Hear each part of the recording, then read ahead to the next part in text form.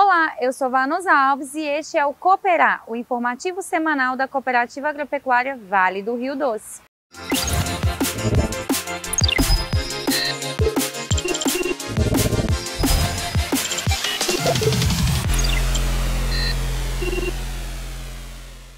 E nesta semana você verá informações sobre o mercado do leite, visita especial na cooperativa, armazém da cooperativa ao lado do produtor e muito mais.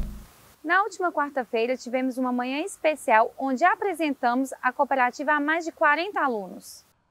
A visita contou com a presença de alunos do ensino médio da Escola Estadual Professora Maria Teixeira da Fonseca, de Tarumirim, e de jovens do Polo de Evolução de Medidas Socioeducativas de Governador Valadares.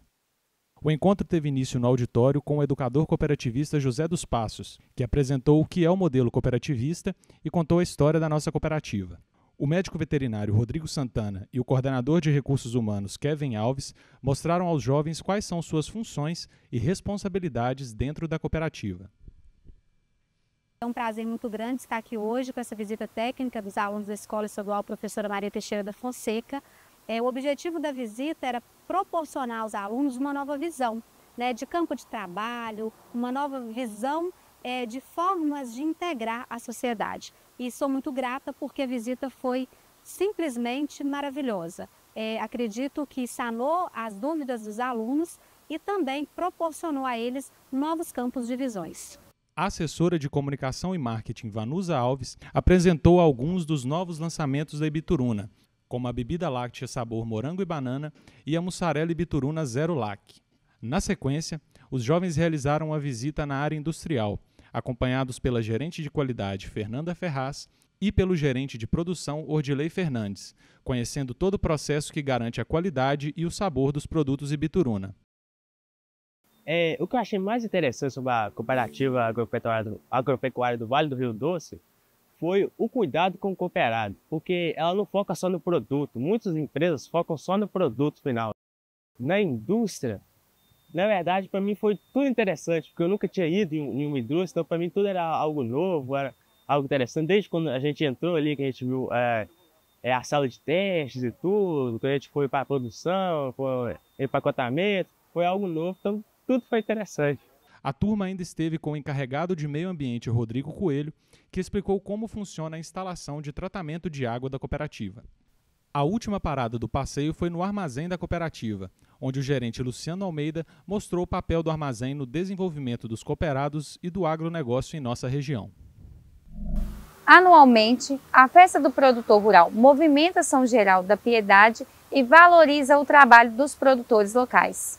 E na última sexta-feira, dia 16, o encerramento da celebração aconteceu na quadra poliesportiva de São Geraldo da Piedade e contou com participação da cooperativa e dos produtos Ibituruna.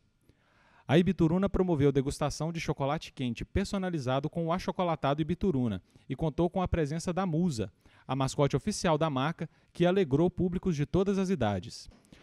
O encerramento da festa teve o anúncio do resultado do concurso leiteiro e do concurso de banana, principais cadeias produtivas da região. No concurso leiteiro, alguns cooperados tiveram lugar de destaque nas premiações. Os cooperados Manuel Botelho e Geraldo de Andrade ficaram em primeiro e segundo lugar, respectivamente, na categoria Novilha Duas Ordenhas. Já na categoria Vaca Duas Ordenhas, Manuel ficou em segundo lugar e Geraldo ocupou a terceira posição. Na categoria Vaca Uma Ordenha, o filho do cooperado Wilmo Coelho, Edmilson Coelho, ficou em segundo lugar. O Armazém da Cooperativa busca o desenvolvimento dos produtores rurais da nossa região. Confira o depoimento do nosso cooperado Ricardo Augusto.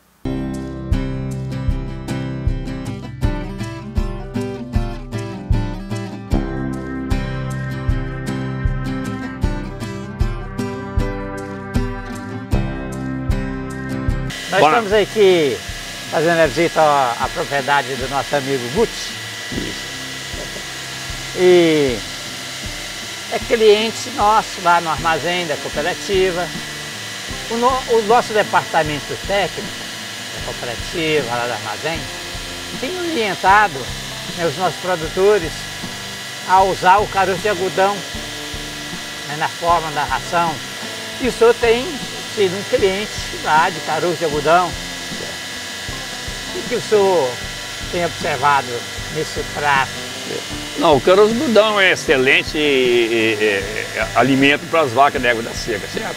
E eu sempre uso de acordo com o preço. Tem época que o, o algodão tem praticável. O algodão está mais caro que, a, o milho e soja. Mas atualmente o algodão estando com o preço que está, certo? Vale a pena usar. E eu uso de rotineiramente, eu uso na, nas vacas de leite, eu uso nas minhas novilhas, eu uso nos bezerros. E realmente aumenta muito a, a produtividade da soja, a produção, a fertilidade do gado aumenta. Então a cooperativa agora está me dando a condição que ela tem um, um sacolado, 40 filos, de trazer, certo? Eu ainda pago em seis vezes no cartão Cicobi. Então melhora pra gente, dá condição de pagar. A nota que o senhor daria para o atendimento do armazém na hoje? Não, o armazém é fora de cena, né? É 10 ou mil? É mil. Agora, as jogadas suas mesmo, porque essa jogada do cartão de crédito em seis vezes Aí, ajudou muito o produtor.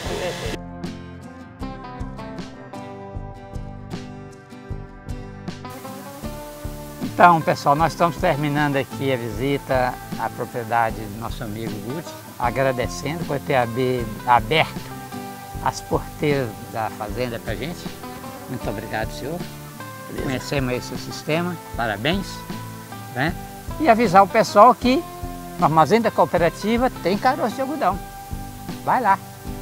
Amigo produtor, venho lhe informar que o caroço de algodão, 40 quilos, R$ 67,75 Ótimo produto para ser usado Caroço nesse. Período. Não deixe de aproveitar. 67. Vem pro armazém. Pessoal, passando para lembrar que ainda estamos com preços promocionais aqui no armazém nesse... nesse... mês dos pais, como chapéu, botina e canivete. E lembrando, você comprando e retirando sacaria aqui no armazém, promocionais aqui no armazém, reais de desconto. Então não deixe para depois, venha para o armazém comprar e canivete. Em busca de novos conhecimentos e troca de experiências, o time de compras do armazém e do almoxarifado da cooperativa estiveram em Patos de Minas, na CEMIL, para visitar o Consórcio Central Grupo Cooperativo, o CCGC, do qual o armazém faz parte. Representando o setor de compras, estiveram presentes Lázaro Nicolas e Viviane Garcia, juntamente com o encarregado de almoxarifado, Cristiano Araújo. Ainda nesta semana, Lázaro visitou a fábrica de ração da Cooperativa Agropecuária de Carmo do Parnaíba, a Carpec. Durante a visita, Lázaro conheceu o sistema de produção da cooperativa e acompanhou de perto o processo de ampliação da fábrica que está em andamento. Em Uberlândia, Lázaro visitou a ADM, empresa do mercado de nutrição. Durante a visita, ele conheceu cada etapa da produção de soja. Com mais de 120 anos de atuação, a ADM é referência em tecnologia e inovação no mercado mundial. Nos dias 20 e 21, a supervisora comercial do armazém, Rita Mendes, participou de mais uma etapa do Programa de Desenvolvimento Mercadológico das Cooperativas Agropecuárias. O encontro aconteceu no Centro de Treinamento do Sistema OSENG, em Belo Horizonte, e desta vez o treinamento abordou a temática Relacionamento e Vendas, Negociação e Comunicação com o Mercado e Cooperados, e foi conduzido pela instrutora Cleone Rodrigues. Olá pessoal, estamos aqui hoje para falar sobre o mercado de leite. O tema hoje são as importações de leite no Mercosul. O Brasil sempre foi um grande importador de leite. E nos últimos anos, a importação vem afetando diretamente o mercado interno de leite. Para vocês terem ideia, é, no início da década, o Brasil importava de 80 a 100 milhões de litros de leite por ano e agora o Brasil está importando em torno de 200 milhões de litros de leite por ano. É um volume muito considerável, né? E isso aí está vindo principalmente da Argentina, que é a maior parte, em torno de 70%, e do Uruguai, que fica em torno dos 25%. Muito favorecido pela logística que existe e pela condição de clima. Por que o clima?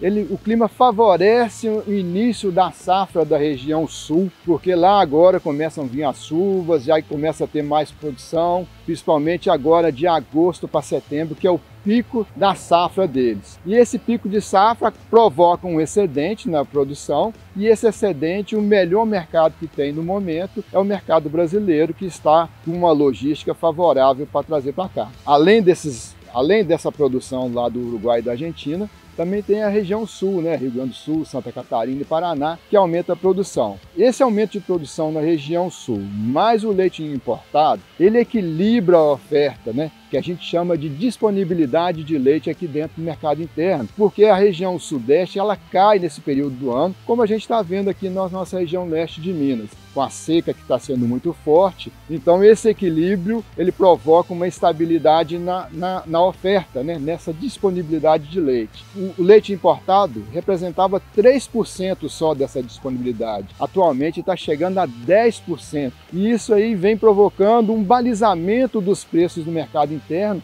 em função dessa oferta do leite importado. Os principais produtos que têm vindo é o leite em pó, que esse ano está estável em relação ao mesmo, mesmo que aconteceu de importação no ano passado, porque houve algumas ações políticas, algumas ações que deram uma restrição dessa entrada de leite em pó, que é muito usado para fazer sorvete, chocolate, bolos, biscoitos. Ele é usado no mercado institucional, de indústria para indústria, e no, nos produtos processados que entram de outra maneira que não é diretamente no varejo para o consumidor. Outro produto que cresceu muito a entrada deles foi o queijo, principalmente o queijo mussarela. Queijo fino entrou, mas é um volume muito pequeno. Mas a mussarela foi negociada diretamente com a rede varejista, com o atacadista. Isso significa que o comércio está comprando direto da indústria lá da Argentina, da indústria lá do Uruguai, criando um mercado, um fluxo de entrada de produtos que não existia no passado e que agora pegou muita força e está influenciando diretamente os preços aqui dentro. O clima pode afetar muito esse cenário que nós teremos aí para o final do ano, porque há uma previsão de ter um El Ninho no final do ano. Ainda não tem certeza da intensidade dele. Se ele for muito intenso, ele pode provocar secas na região sul e isso aí diminuir essa produção lá. Mas aí chega a nossa safra aqui na região sudeste, que está previsto vir chuvas normais se tiver o El Ninho. Então, gente, o mercado do leite vai ser muito influenciado pelo clima até o final do ano, porque os preços de milho e de soja têm uma tendência de manter estável. Isso aí favorece o produtor que tiver uma condição de trabalhar com boa produtividade, trabalhando o manejo de pastagem, trabalhando a produção de volumoso que é muito importante na alimentação do rebanho, tá bom? No próximo Cooperar nós vamos falar sobre o Conceleite. O Conceleite em parceria de indústrias com os produtores. Ele é feito pelos professores da Universidade do Paraná, um simulador. Já acontece no Rio Grande do Sul, no Paraná, Santa Catarina, Minas Gerais. Todo mês ele, eles fazem uma simulação desses preços. Eu vou explicar melhor no próximo Cooperar e aguardo vocês lá para poder ter essas informações mais detalhadas, tá bom? Então, até lá! Eu vou explicar melhor no próximo Cooperar e aguardo vocês lá para poder, poder ter essas informações mais detalhadas, tá bom?